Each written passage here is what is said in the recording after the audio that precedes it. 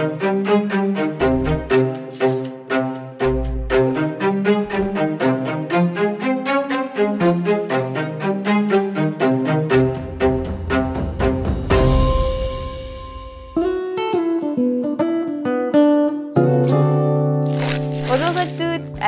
retrouve aujourd'hui pour faire une petite tartelette boucanée bringel. On aura besoin d'un joli morceau de boucané, un bringel, des patates, oignons, ail, de l'huile de tournesol, de la farine, de l'eau, des œufs, du cumin et de la petite fleur pour décorer et un petit peu de pâte piment. Alors du coup, on va désosser notre boucané et en même temps récupérer notre pomme de terre et la mettre en cuisson. On va venir retirer l'os et on va mettre à bouillir des parois froides. On met nos plaques à fond et on va passer à l'appareil à pâte pour la tartelette. Alors du coup, avant de faire notre pâte, on va aussi lancer notre bringel au four pour le caviar. Notre four est préchauffé à 190 et on va laisser cuire tous nos éléments et on va passer à la pâte. Alors on va venir clarifier notre œuf et on va utiliser que le jaune pour cette recette. On va commencer à mettre nos éléments, donc la farine, le cumin avec du sel.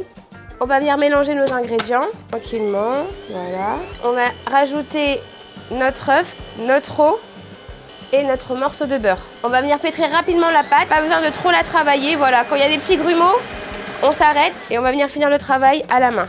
Voilà, faut pas hésiter à mettre la main dedans, c'est juste pour que la boule se forme bien et qu'on ait quelque chose d'homogène. Si vous travaillez trop la pâte avec votre fouet, ça va venir bouger le gluten dans la pâte et ce sera trop élastique.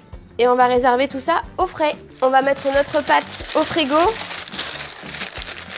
le temps que le reste des éléments termine de cuire. Donc là, notre boucané est prêt. On va venir le récupérer pour le laisser refroidir le temps qu'on va aller tailler notre ail et notre oignon. Donc pour cette recette, on n'a besoin que d'un seul oignon parce qu'on va utiliser le cœur pour faire notre oignon caramélisé et le reste on va tailler en brunoise pour faire roussir notre boucané.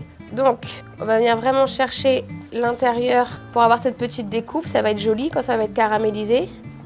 Voilà, donc ce morceau là on réserve et là on taille grossièrement pour venir roussir notre boucané avec du thym, de l'ail. Donc là on a notre oignon et notre ail. On va venir faire roussir tout ça dans une poêle avec de l'huile de tournesol et du thym. On met un tout petit filet d'huile parce qu'il ne faut pas oublier qu'on aura le boucané après. Donc là, on rajoute notre thym.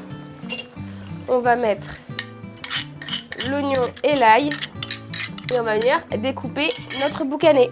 Alors on prend nos boucanés et on va faire des morceaux. Alors pas comme un rougail boucané traditionnel. Là, il faut vraiment tailler un peu plus fin parce que ça va garnir notre tartelette et que ce soit facile à manger parce que ce sera une bouchée en fait, c'est une mise en bouche. Voilà, des petits morceaux. Alors là, notre patate, elle est cuite. De même que le boucané, on la retire et on va venir la laisser refroidir pour pouvoir l'éplucher.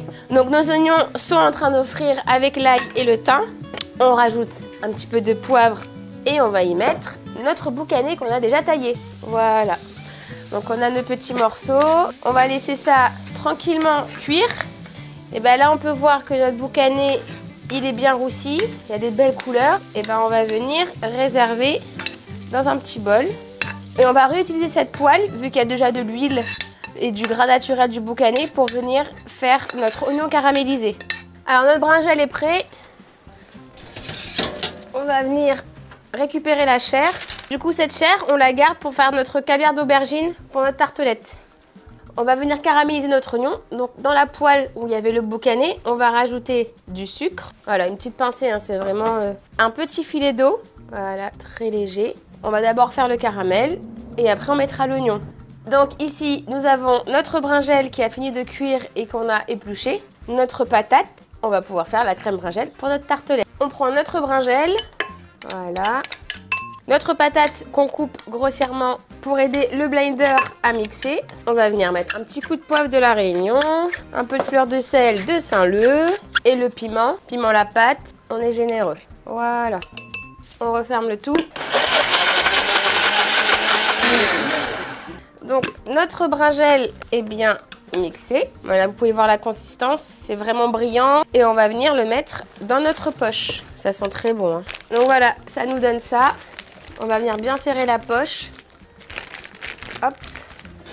On la laisse dans notre petit pot et on met au frais. Donc là, on voit que notre caramel est en train de se former. On va venir déposer notre oignon le laisser caraméliser tranquillement et on va venir s'occuper de notre pâte. Donc on va venir étaler notre pâte. Vous pouvez le mettre entre deux papiers sulfus pour vous éviter d'utiliser de la farine et on va attaquer avec le rouleau.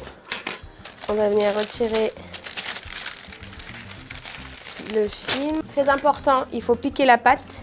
On va venir emporte-piécer notre pâte. C'est très délicat comme étape celle-ci. Oh, être vraiment délicat et on va le mettre dans notre petit moule à silicone. Voilà. Nos pâtes sont dans notre moule et on va venir le mettre au four pendant 10 minutes.